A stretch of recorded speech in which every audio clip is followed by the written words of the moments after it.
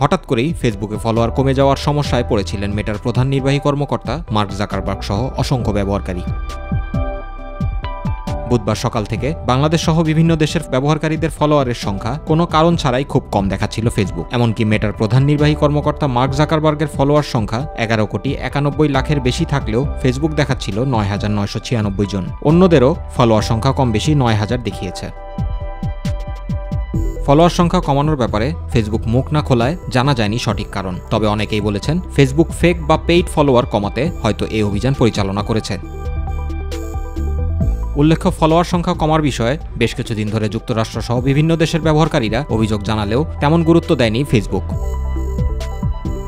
এদিকে বাংলাদেশ সময় বেলা সাড়ে তিনটার পরই ফলোয়ার বিভ্রাট সমস্যার সমাধান হয়েছে ফেসবুকে। ফলে বর্তমানে আগের মতো সঠিক ফলোয়ারের সংখ্যা দেখা যাচ্ছে। তবে এটা প্রযুক্তিগত ত্রুটি নাকি অন্য কারণ, তা অবশ্য স্পষ্ট করে বলা যাচ্ছে না এখনই। Jubai Rahman, my TV news desk.